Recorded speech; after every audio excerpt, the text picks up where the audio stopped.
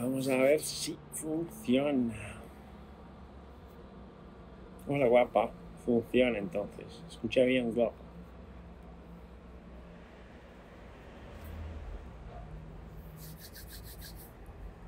Se escucha bien, chatos. Hemos cambiado un poquito el escenario hoy. Estamos, estamos en un ambiente más. Estamos en un ambiente externo. Entonces hoy se va a escuchar coches, se va a escuchar perros, se va a escuchar vecinos, todo esto. O nada de esto, ¿verdad? ¿Qué tal todos? Bien, hoy no tenemos música, estamos fuera, entonces hoy no tenemos música. ¿Qué tal todos? Bien, espero que bien.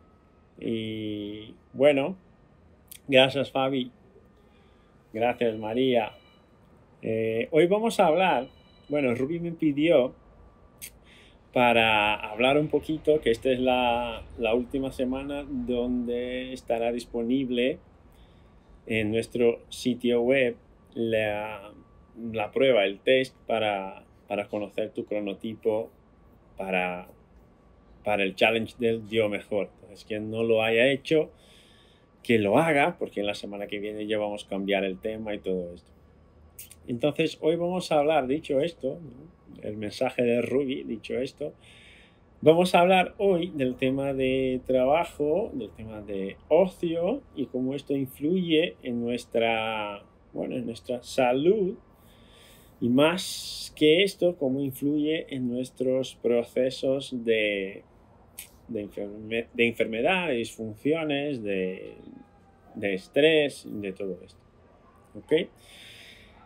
¿Y por qué elegimos el tema, no? Trabajo, ¿por qué elegimos el tema ocio? Porque el, trabajo, bueno, si te das cuenta, lo que más haces en la vida es trabajar, ¿no? Tienes que trabajar ahí al menos entre 6 y 8 horas al día.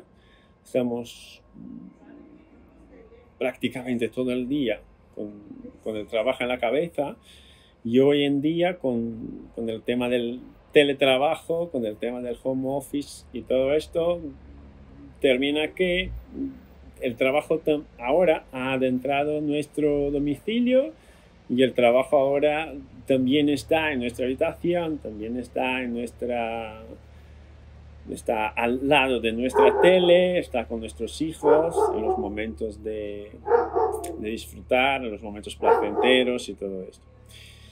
¿Ves? Los los perros. Entonces, el trabajo es parte integrante de nuestra vida, el trabajo es algo al cual tenemos que dedicarnos al menos 50% de, de nuestra atención está enfocada en esto y probablemente influye directamente en nuestra salud interna e influye directamente en nuestra percepción del, del ambiente externo, ¿verdad? Se escucha el perro, ¿verdad? Pero se escucha a mí. Si, me escucha a mí y al perro, estamos bien. Si solo se escucha al perro, ahí tengo que pegarle un, golpe al perro. Pero no, no lo haría. tengo miedo del perro. Me gusta el laca, porque el laca no se parece nada a un perro. Se parece más a un gato. Pero lo demás, nada.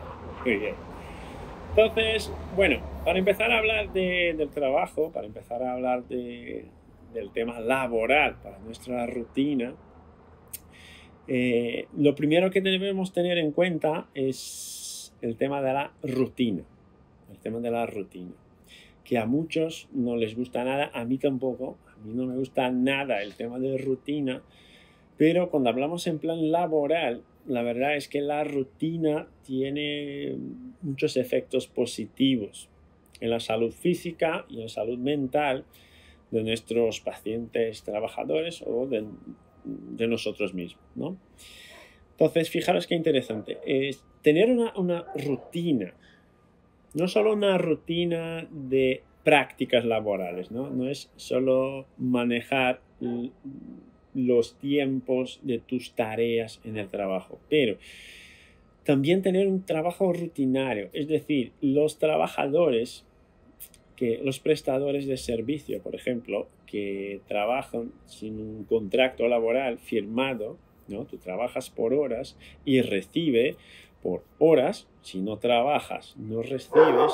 Estos trabajadores, fijaros qué interesante, que sufren más, sufren más de estrés mental. Sufren más de estrés mental, que a largo plazo, que a largo plazo les genera un mayor riesgo, una mayor probabilidad de desarrollar patologías cardiovasculares. Entonces, fijaros qué interesante, tener la seguridad de que tienes un trabajo, que te vas a despertar a las 7, a las 8, a las 9, a las 6 o a las 5, ya garantiza algo de salud para nuestra mente, para nuestros procesos emocionales. ¿no? La rutina, la sensación de seguridad, la sensación de que tú puedes predecir qué es lo que vendrá. Es decir, me voy a despertar el lunes por la mañana, me levanto, desayuno y voy a trabajar. Esto ya te ofrece una perspectiva más sana cuando hablamos de salud mental y hablamos de salud física. Esto porque eh, nosotros, el humano tiene una, tiene una tendencia a... No sé si habéis escuchado una frase que está en inglés, que es better safe than sorry, ¿no? Es mejor la seguridad que después tener, tener que lastimar algo, ¿no? Entonces, en general, yo prefiero, yo en general, ¿no? nosotros como, como especie, preferimos la seguridad de algo, aunque no estemos nada satisfechos con esto, pero nos gusta más la idea de que hay una seguridad, de que puedo predecir los elementos y me gusta mucho menos la idea de que todo puede cambiar sin que yo controle los cambios. Mejor prevenir que curar. Ro, perfecto. Y esto es un pensamiento que no solo vale para la parte laboral, pero si te das cuenta, si, ponemos en perspectiva los amigos que tienes, las relaciones, las charlas con tus pacientes y todo esto, os habéis dado cuenta que cuando hay una, una relación, de estas relaciones tóxicas, ¿no? Una pareja que no cuadra, la energía de uno no cuadra con la energía de otro, pero llevan juntos ya 5, 6, 7 años Luego uno hace protestas del otro, el otro hace protestas del otro, nadie está contento con la situación, pero, pero, se mantiene ahí los dos. Pero se mantiene ahí los dos. ¿Por qué se mantiene ahí los dos? Por esta sensación, esta falsa sensación, esta sensación fake, para utilizar un término moderno, esta sensación fake de seguridad es decir, puede ser el siguiente o la siguiente puede ser peor que esta que tengo, que este que tengo. Entonces, si puede ser peor, mm, no me voy a mover. Mejor quedarme aquí. Aguanto un poco. Y esto vale también eh, para la parte laboral. También vale para la parte laboral. No solo para mantenernos con trabajos que no, donde no estamos a gusto, donde no nos gusta nada y nada de esto, pero también nos impide de buscar algo que sea mejor. Porque cuando estamos con eso en la cabeza, ves que el siguiente o la siguiente o el siguiente trabajo puede ser peor, tú también dejas de buscar, dejas de objetivar, dejas de intentar el mejor.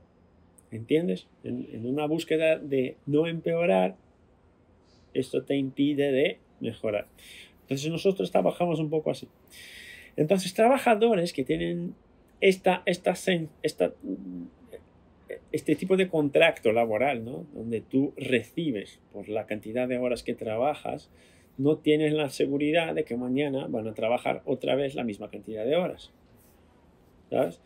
Entonces, esto ya nos genera complicaciones para la salud mental. Bien dicho, Mark. Más vale malo conocido que bueno por conocer, se dice en España. Perfecto, tengo que apuntarlo, Mark.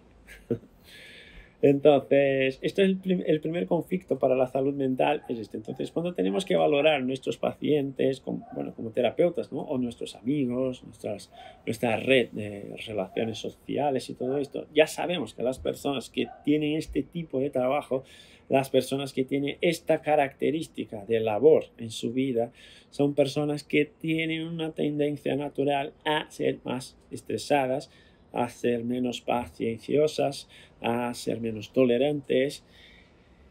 Son personas que tienen una tendencia mayor a la hipervigilancia también. Son personas que tienen una tendencia mayor a la hipervigilancia. Y fijaros qué, qué, interesante, porque hay muchos estudios de, cuanto a esto, de la parte laboral, ¿no? de salud laboral. Fijaros qué interesante, que a veces ponemos en perspectiva lo que ha venido antes, el huevo o la gallina, pero obviamente tiene que ser el huevo, pero entiendes, ¿no? La relación. Eh, ¿Sería la rumiación lo que lleva a la ansiedad o sería la ansiedad lo que lleva a la rumiación? Y parece haber una dirección bien definida cuanto a esto. Ahí parece que no hay tanto la duda del huevo o la gallina parece que la rumiación lleva a la ansiedad y la rumiación lleva a la depresión. Entonces, fijaros qué interesante, porque la depresión ya es una condición clínica. Mira, se escucha el coche.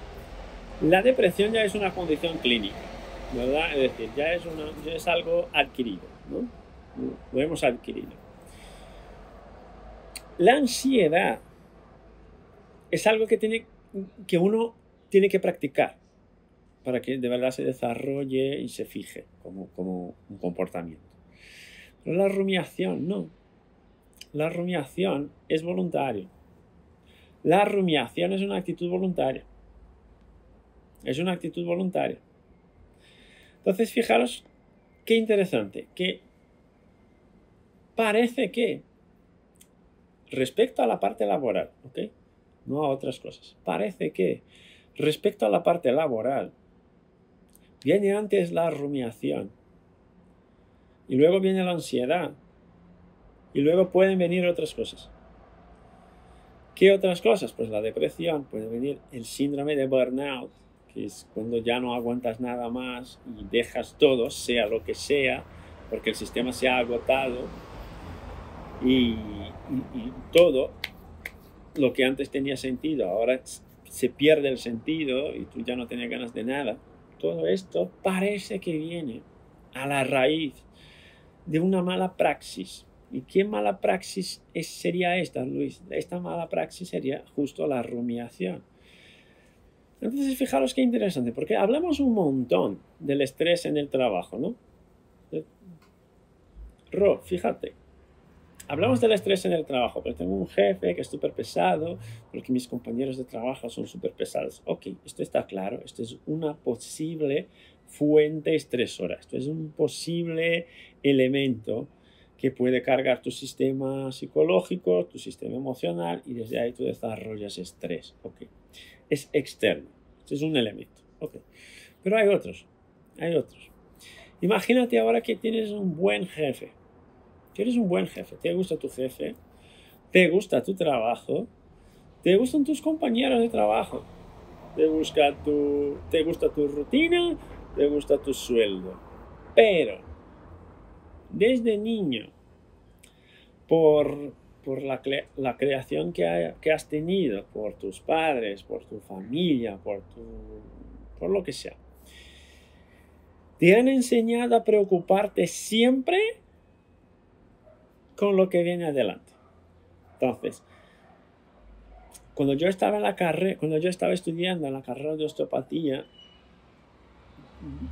tenía una compañera en Brasil súper, súper, súper nerviosa, que era muy maja, pero súper nerviosa, que empezaba el año, estábamos ahí en febrero, en, los exámenes lo teníamos a fines de octubre, noviembre o algo así, y empezaba febrero cuando empezaba a hablar de exámenes, empezaba a sudar. Si cuando teníamos un seminario, empezaba pues que este, hay el examen en el, fin de, en el final del año y tenemos que estar listos. Y todo, este es un comportamiento típico que tenía 45 años, creo, 46 o algo así. Un comportamiento típico que evidentemente ha adquirido, lo ha adquirido a lo largo de la vida. ¿Qué pasa? El evento estresor estaba al final del año, del año, al final del año. Teníamos ahí 10 meses para llegar al examen. Teníamos 10 meses para prepararnos para hacerlo bien. Pero daba igual si estaba bien preparada o no. Empezaba a hablar del examen al, fin al final del año y empezaba a sudar. Empezaba con reacciones autonómicas, reacciones de hiperactividad simpática. Se le disparaba la taquicardia, se ponía roja la cara, ¿sabes? Todo esto. Y esto, eso es un comportamiento de rumiación, es decir, tú no te olvidas de una tarea, de una prueba, de un test, de un examen, de una situación, que tú la vas a tener, tú todavía no lo has tenido. Todavía no la has tenido. ¿Te das cuenta? Entonces, el, el pensamiento rumiante en estos trabajadores que estamos hablando, porque ahora estamos hablando de la parte laboral, ¿qué sería? Sería, me gusta mi jefe, me gustan mis compañeros, me gusta mi trabajo, mi sueldo, todo esto, pero tengo una tarea tengo una reunión, tengo un trabajo que entregarle a mi jefe en la semana que viene. ¿Y qué haces tú? Llevas toda la semana, de momento que te despiertas al momento que te duermes, pensando en el trabajo. ¿Qué tienes que hacer? ¿Qué tienes que hacer? Entonces imagina hacer esto por una semana. Está bien hacerlo por una semana, ¿verdad, Ross? Anticipar todo esto por una semana está bien. Anticiparlo por un mes está bien también. Imagina hacer esto por 10 años. Imagina hacer esto por 15 años. Imagina hacer esto por 20 años. ¿Qué pasa? Cuando empezamos a practicar esto, empezamos a generar patrones neuronales, patrones de activación neuronal. Empiezo a activar una red neuronal, una red cortical de preocupación, una red cortical de anticipación, de anticipación, una red cortical de antelación frente a los eventos que están relacionados al trabajo. Pero si el trabajo es un 50, un 60, un 70% de tu día, ¿qué pasa? Que tu cabeza no desenchufa. Que tu cabeza no desenchufa. Y luego este es tu paciente que tiene un dolor lumbar crónico, que tiene una cefalea crónica, que tiene, o si eres un nutricionista, un dietista, el paciente que tiene problemas de sobrepeso y que todavía tiene una dificultad tremenda de, de comprometerse con, con la terapia que tú le propones. Y todo esto va a empeorar el caso clínico, todo esto va a empeorar la situación clínica de tu paciente, empeorar los síntomas, empeorar la, capacidad de, de, vincularse a algo. Claro, va a generar una empeora de los síntomas, va a generar una dificultad tremenda de comprometerse con su terapia y todo esto le va a generar resistencia en la vía porque no escucha no escucha porque está siempre pendiente de algo que él tiene que hacer. Tú le estás hablando y él está pendiente de otra cosa que es suya propia, que no tiene nada que ver contigo, pero tú le estás hablando, entra por aquí, sale por ahí y ni te hace caso. Entonces, ¿qué pasa? Seguramente cuando se ejercita esto, porque es un ejercicio, es un mal ejercicio, pero es un ejercicio, cuando se ejercita esto, por demasiado tiempo, te empieza a generar cambios en la variabilidad cardíaca, empieza a generar cambios en la modulación de tu sistema autónomo. Empieza a, alterar la... A ver si es esto. empieza a alterar tu equilibración simpatovagal. ¿Por qué es importante tu equilibración simpatovagal? Porque tu equilibración simpatovagal es que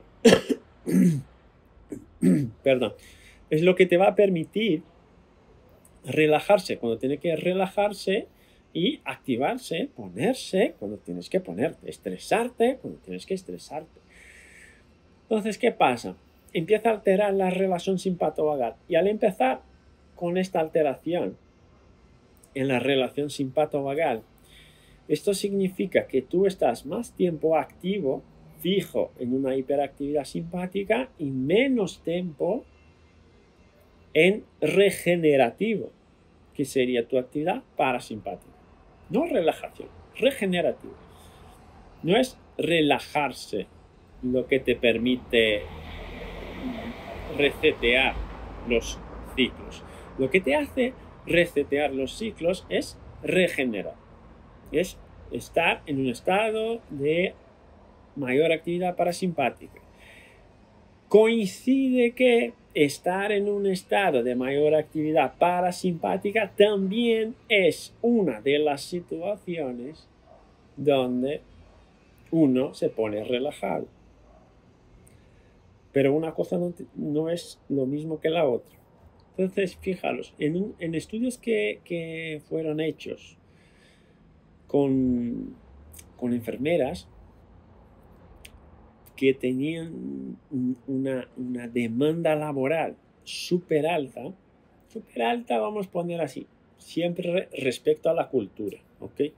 Pero las enfermeras que tenían una demanda cultural más alta que sus compañeros de trabajo, tenían una alteración importante de la relación simpato-vagal.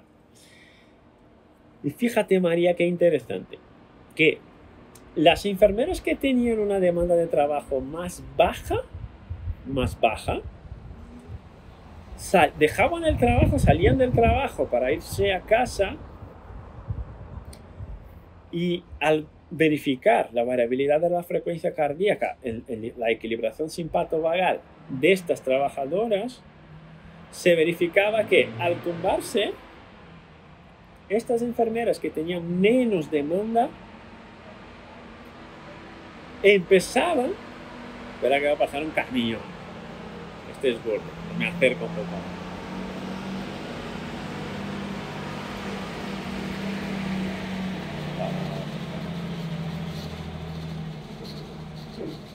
Muy bien, volvemos.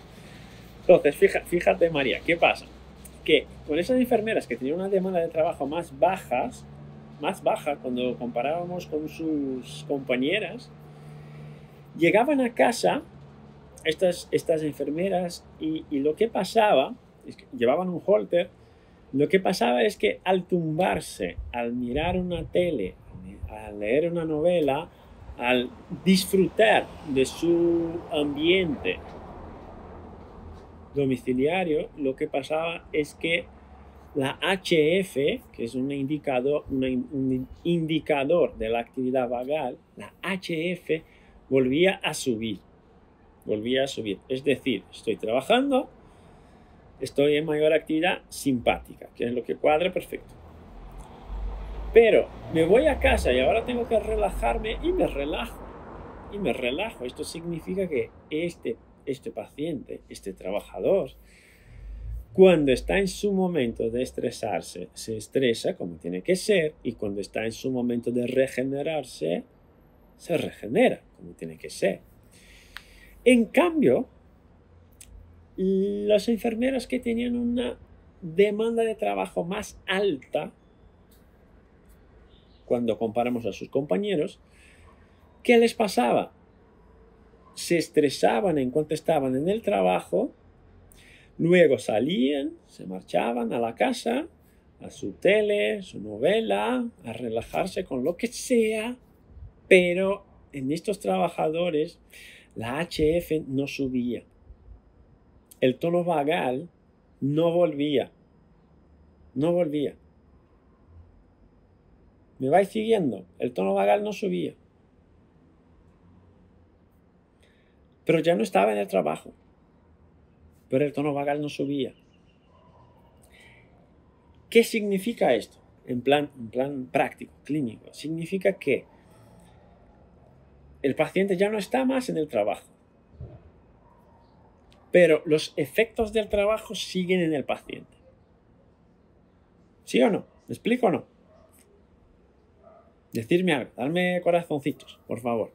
¿Me explico o no? Entonces, la demanda, no solo la tarea, no solo la tarea que desarrollas importa, pero la demanda de trabajo también importa. Entonces, fijaros, hemos dicho al principio que el, tipo de contrato laboral influye. Si tengo un, contrato laboral estable, si viene la pandemia o si no viene la pandemia, mi sueldo estará en la cuenta al, fin del, al final del mes o al principio del mes.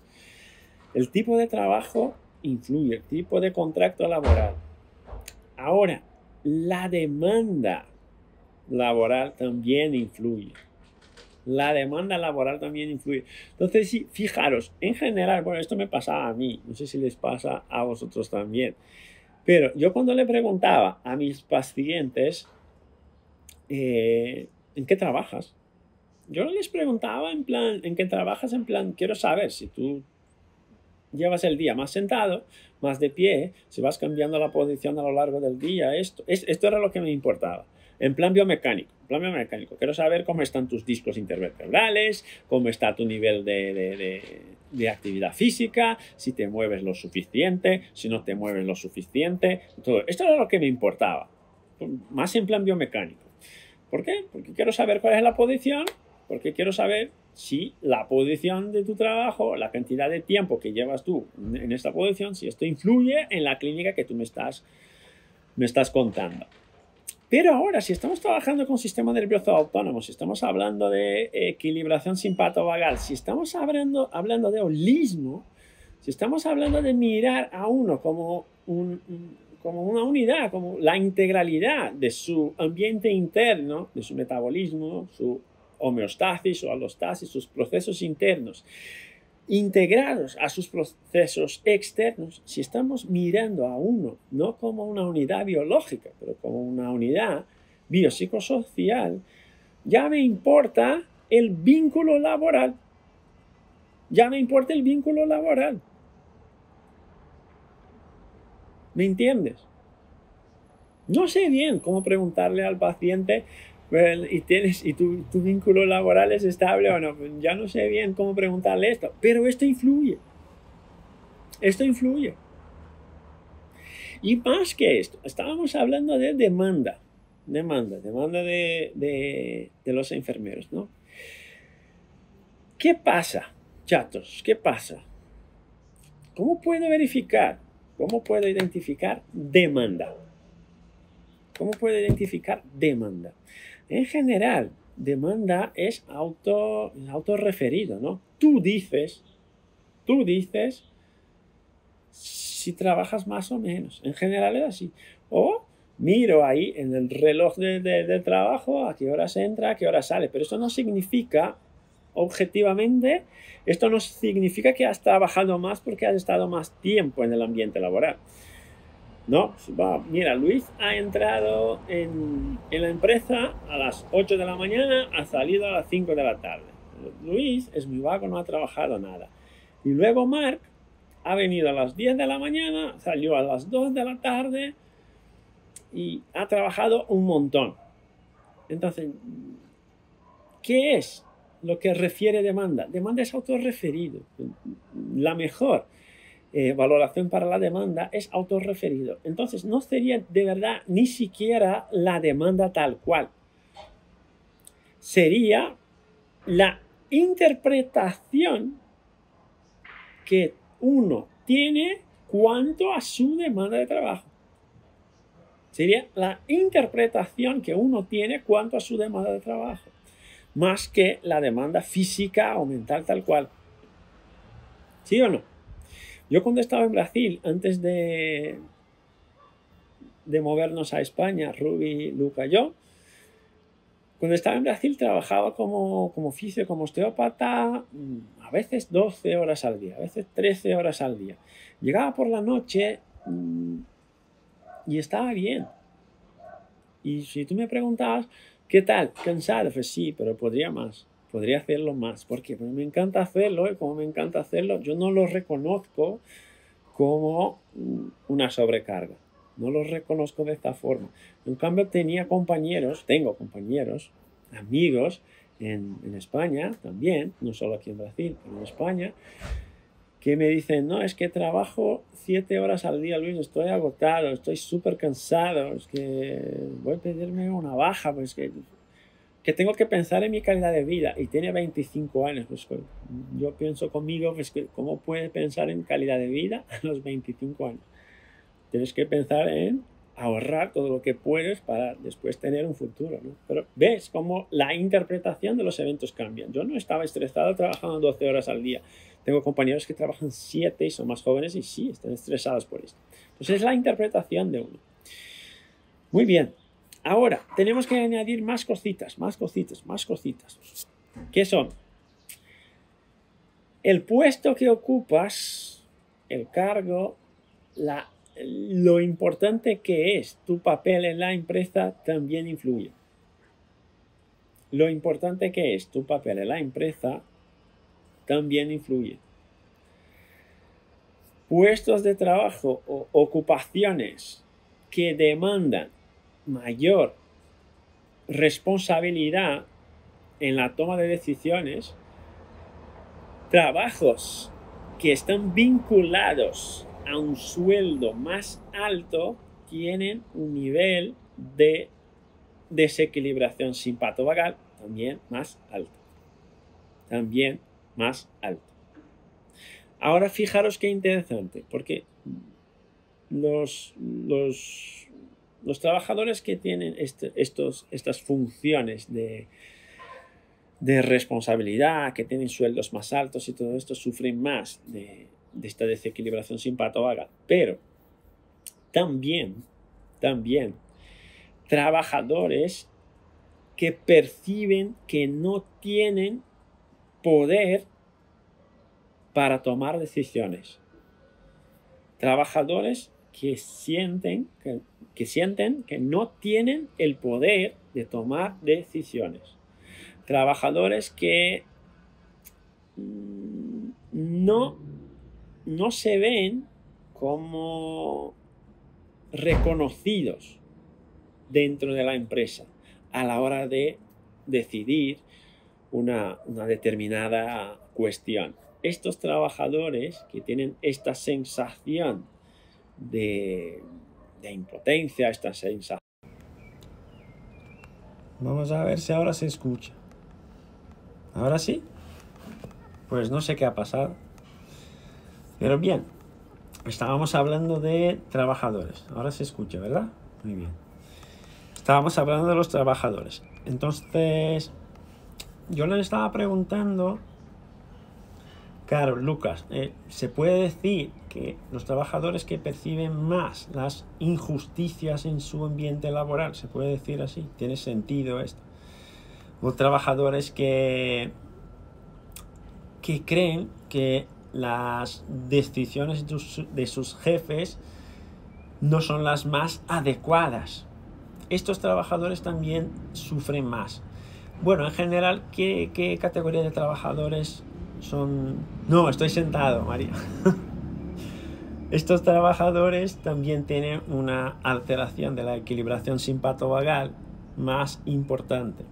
Entonces, todo esto es lo que nos está diciendo, que la percepción de uno cuanto a su ambiente laboral, la percepción cuanto a toma de decisiones en el ambiente, la percepción cuanto a la demanda de trabajo, la cantidad de decisiones que tiene que tomar, así como la, la dificultad en, en hacerse respetar en el ambiente de trabajo, también influye en, la percepción, en la equilibración simpatovagal. ¿Vale? Entonces todo esto es importante. Entonces, ¿qué pasa? Que eventualmente estamos trabajando con alguien que tiene un dolor crónico, que tiene una cefalea, que tiene un dolor lumbar y todo esto.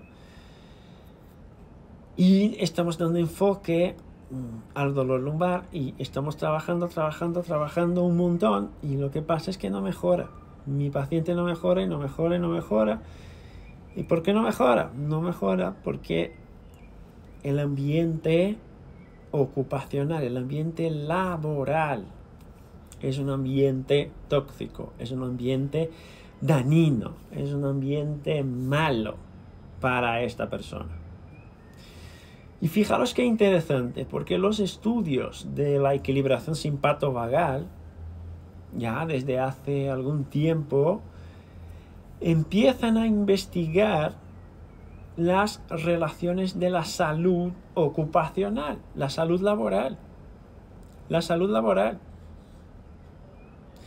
Entonces, fijaros qué interesante, que ya se propone en Frontiers de Neuroscience, ya se propone utilizar la verificación de la equilibración simpato-vagal, es decir, la variabilidad de la frecuencia cardíaca, como una herramienta, como una herramienta para identificar posibles elementos estresores o posibles elementos que estén generando eh, compromiso de las funciones o del desarrollo del trabajo de, una empresa o de una escuela o de cualquier cosa. Entonces, fijaros qué interesante, ya estamos proponiendo esto para la salud laboral. ¿Por qué? Porque el trabajo es un 50-70% de nuestros razonamientos a lo largo del día. ¿Y sabes, sabéis qué pasa? Pasa que funciona súper bien para identificar posibles trabajadores que estén en riesgo, que estén bajo un riesgo más alto de absenteísmo, ¿no? de, dejar el trabajo, de darse de baja del trabajo por posibles lecciones, burnout, ansiedad, depresión, todo esto. Fijaros qué interesante, en la salud ocupacional. Entonces, como, siempre decimos, ¿no? Somos cazadores de cebras y a veces estamos, estamos limitados a nuestro ambiente laboral también. A veces nuestra cabeza nos, nos, nos limita a nuestro ambiente laboral. Pero fíjate qué interesante que tú puedes ayudar como consultor, como consultor, de, como consultor de salud ocupacional, como consultor de salud laboral para una empresa, para bueno, para cualquier cosa en ese sentido, una escuela, una universidad, cualquier cosa en este sentido. Porque ya se sabe que la variabilidad de la frecuencia cardíaca tiene una relación importante con la morbidad y con la mortalidad de los pacientes. No solo la mortalidad, sino que también la morbidad, como nos comentó antes María, una paciente de 40 años que ya tiene diabetes, hipertensión y todo esto. ¿Y dónde mejor? ¿Dónde es el mejor ambiente para identificar posibles bucles, posibles elementos estresores, posibles elementos dañinos a la salud? Pues no hay sitio mejor que el ambiente laboral, donde uno se queda por 5, 6, 7, 8 horas al día. No hay ambiente mejor para identificarlo. Ya sabemos que los problemas crónico-degenerativos son los problemas actuales que tenemos en la salud, ¿no? Es una, hay una epidemia de patologías crónico-degenerativas, sea cáncer, sea patologías cardiovasculares, sea patologías neuroendocrinas o todo esto. Donde mejor probar nuestros pacientes que en su ambiente laboral, que en teoría es el mayor estresor que tienen. Pues no hay ambiente mejor para hacerlo. Incluso ahí es el ambiente donde tú puedes identificar la respuesta de tu paciente. La respuesta de tu paciente a su trabajo. A su trabajo. Entonces, fijaros qué interesante. Para quien ya, ya trabaje ¿no? con, con la verificación y todo esto. Eventualmente, si tú tienes ahí 2, 3, 4, 5 bandas de, de Polar, de H10, todo esto,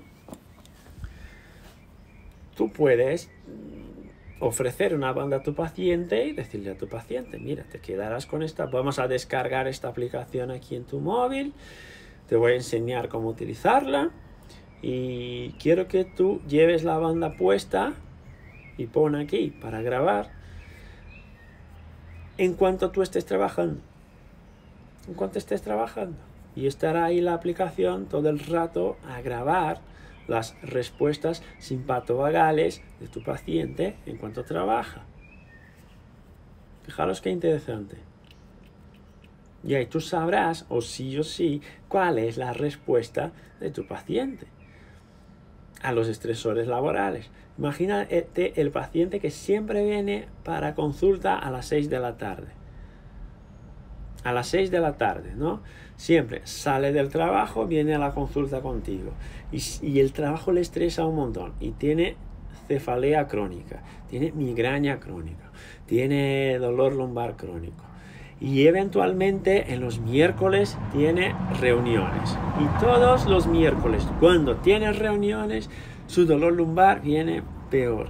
Todos los miércoles cuando tiene reuniones, en el martes duerme peor. O en el miércoles por la noche duerme peor. O en, en, en el jueves está fatal.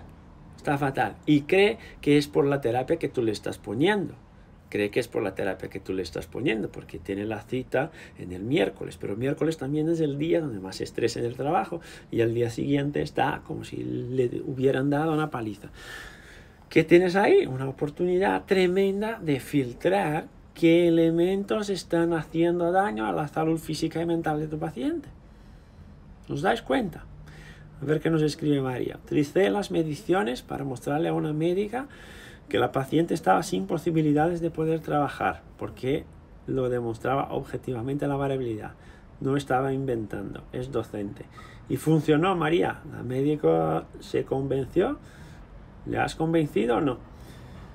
Con este vivo me leíste la mente. Estaba pensando que se podía hacer esto. ¿Verdad, Julie? Muy bien. Entonces, esto es clave, chatos, es clave, porque estamos hablando de equilibración simpatovagal, estamos hablando de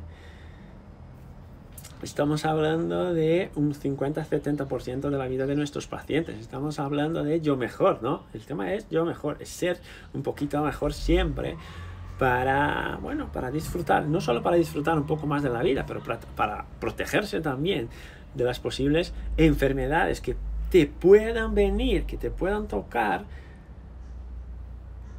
y que el mayor responsable por ellas seas tú.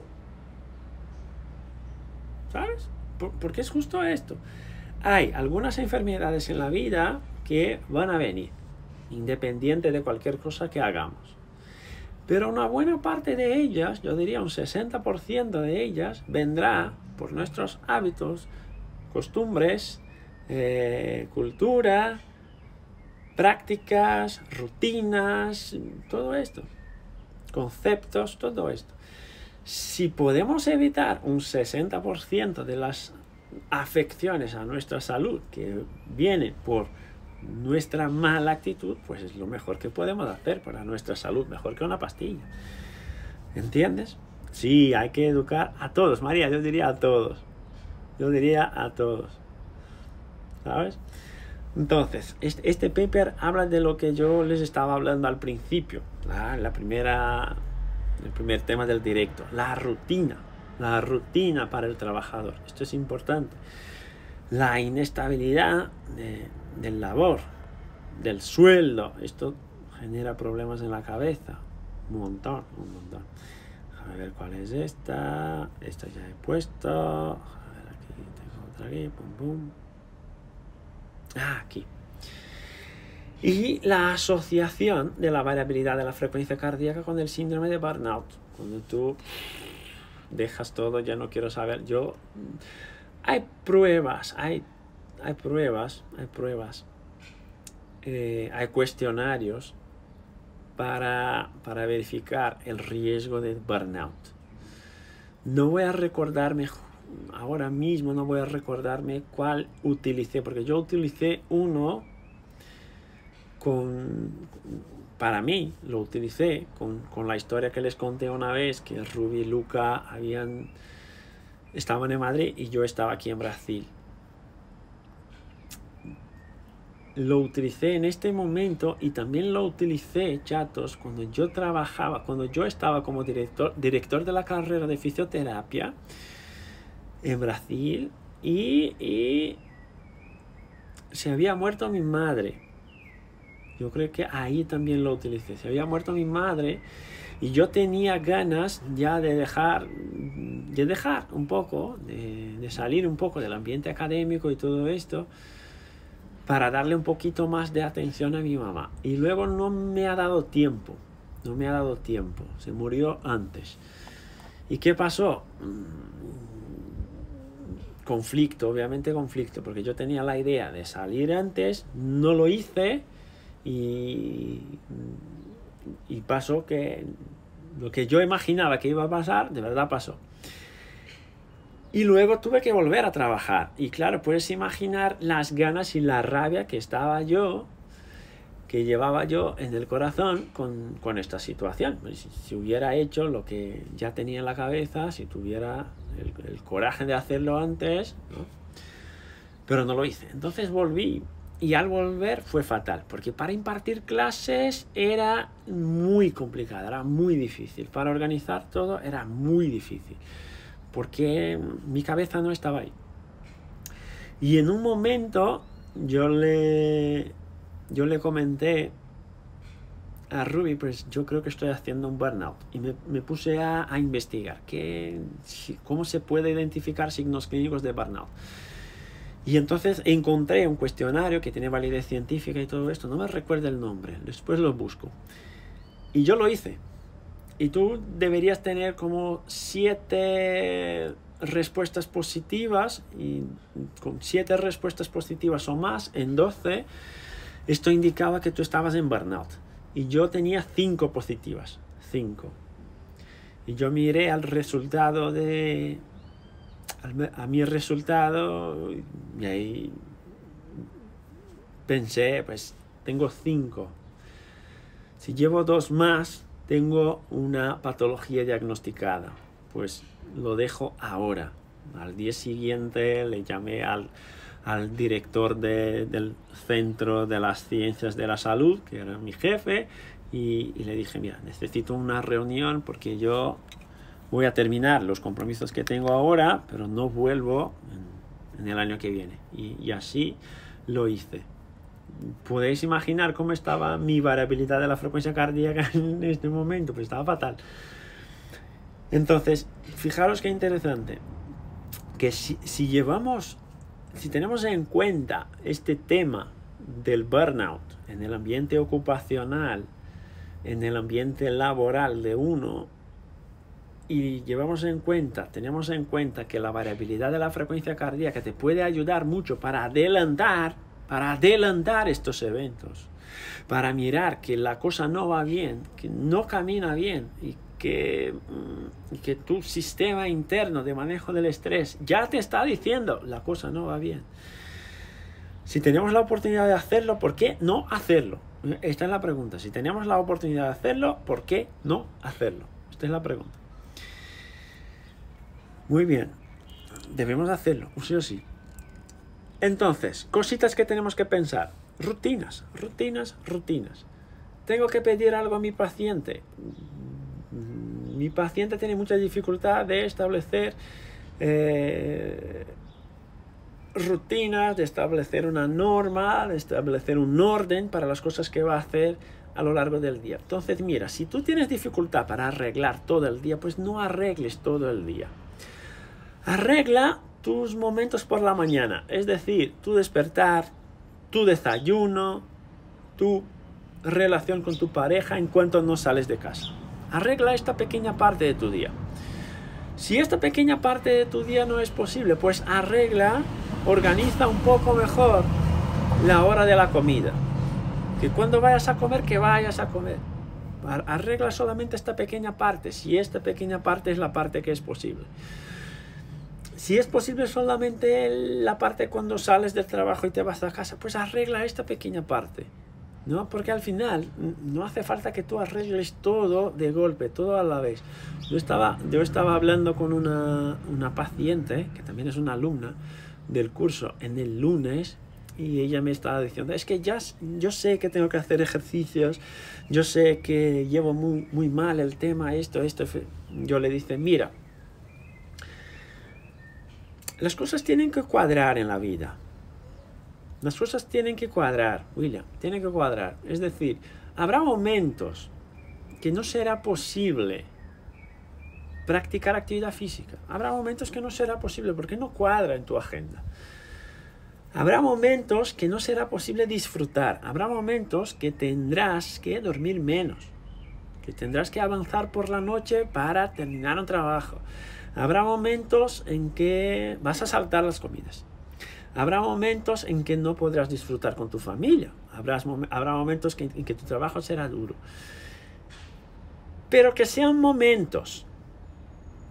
Me va siguiendo. Que sean momentos. El problema es cuando el momento se torna la rutina. El problema es cuando algo que debería ser temporal se torna algo perpetuo, se torna crónico y tú te acostumbras con esta mala praxis. Este es el problema. Entonces, debemos tener una rutina, debemos tener una rutina, pero debemos ser inflexibles con la rutina. No, Tampoco debemos ser inflexibles con la rutina, porque si somos inflexibles con la rutina, volvemos al tema de la rumiación, volvemos al tema de la catastrofización, volvemos al tema del, de tener las ganas de controlar todo todo el tiempo. Y esto te va a infligir daño igual. ¿Qué pasa hoy después del COVID?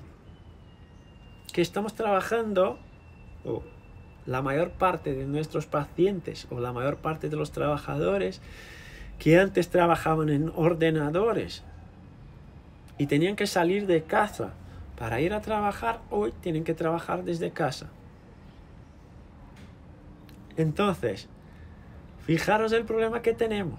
Tienen que trabajar desde casa, es decir, su ambiente de relajación, su ambiente placentero, su ambiente para desenchufarse se convirtió en su ambiente laboral. Se convirtió en su ambiente laboral. Y ahora tenemos un súper problema. Porque el ambiente que le estresaba ahora está dentro del ambiente que le relajaba.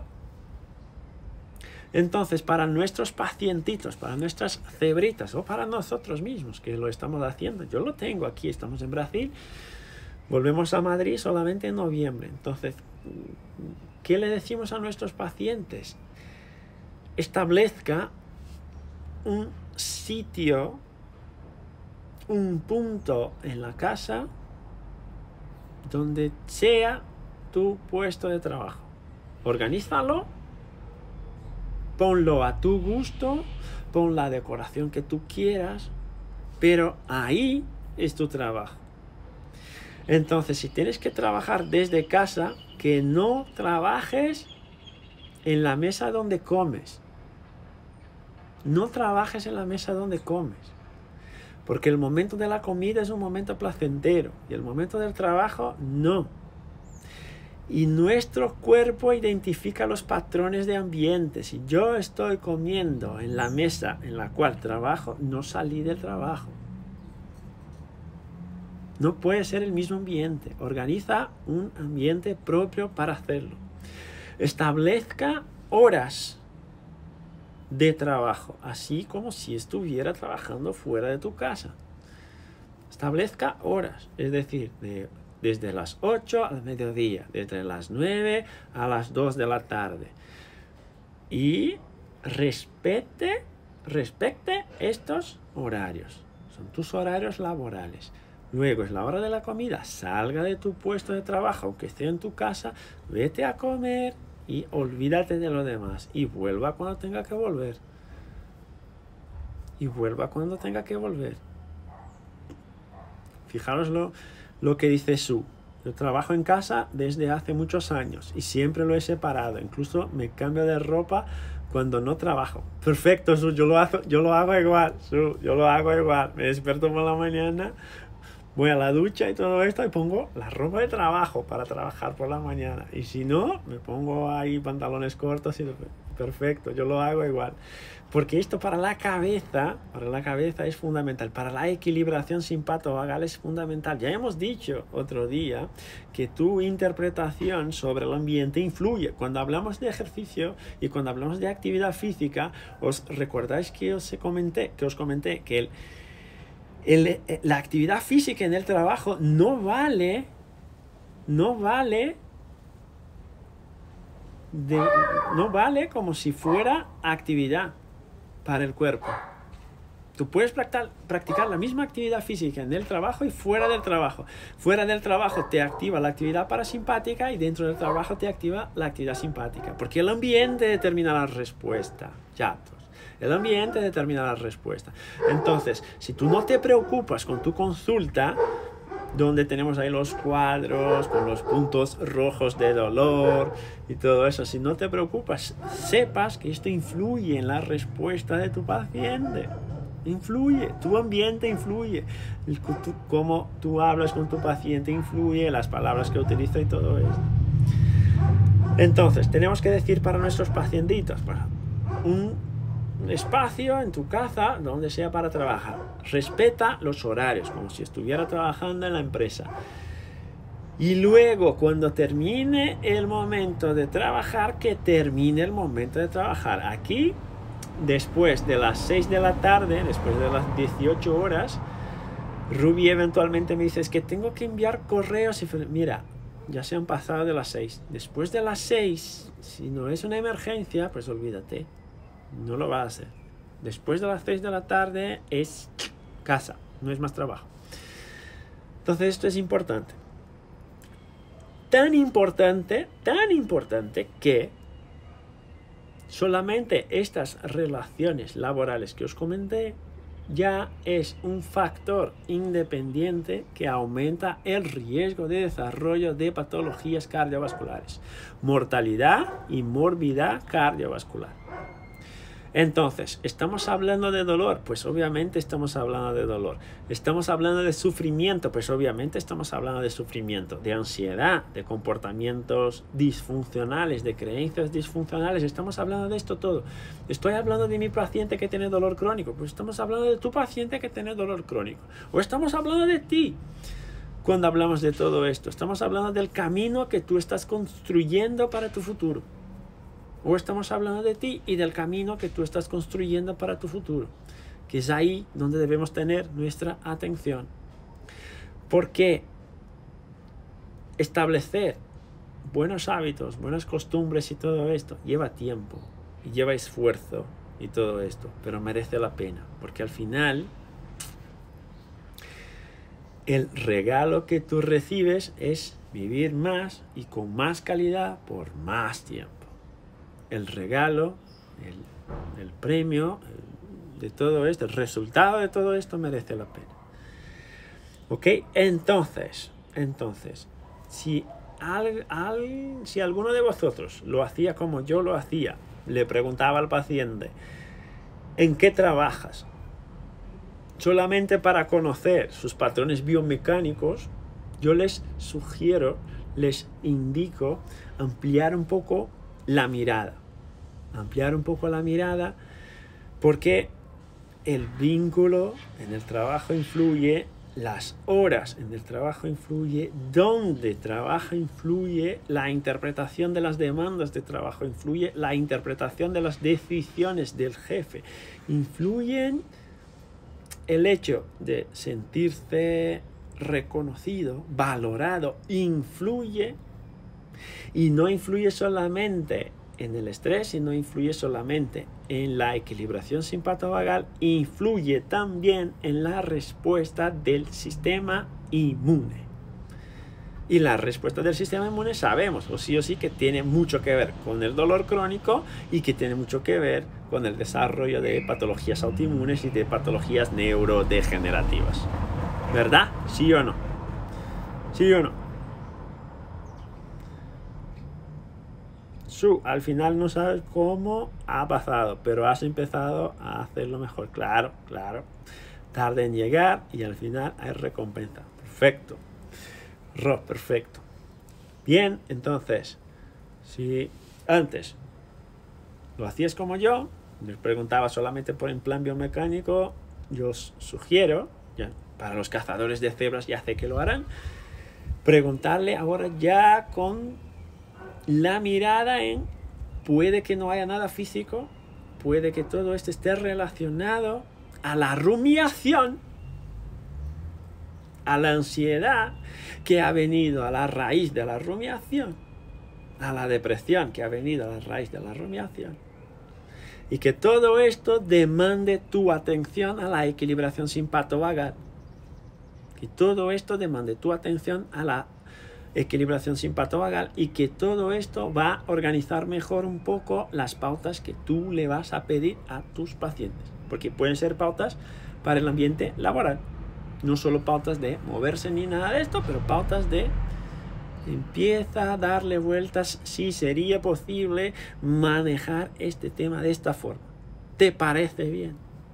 Como un consultor, eventualmente como un consultor. Y para comprender mejor también los efectos de nuestras terapias.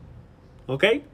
Mil disculpas por el fallo en el audio, no sé qué ha pasado, pero yo creo que al final lo arreglamos más o menos, ¿verdad? Bueno, y también hemos tenido más tiempo, yo creo que hemos tenido un poquito más de tiempo. Me pude, tuve la oportunidad de pasarme un poquito en el tiempo, en el tiempo del directo. ¿Ok? Julia Mauri, fenómeno, hoy te contesto. Ya, me, ya no tengo más disculpas para pedirte, pero igual te las pido. ¿Ok? Un SN abrazo, chatos. Os veo en la semana que viene.